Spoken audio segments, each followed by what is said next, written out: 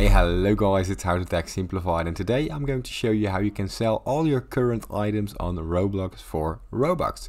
It's very easy, so let's get straight into it. Now, the first thing that you want to do is open up your preferred browser or head down to the Roblox player, sign into your existing account and from there use the three stripes in the left corner of your screen, the navigation menu and open up your inventory. Now here you see all your current items that you own. Now let's say I want to sell this Mexican fedora.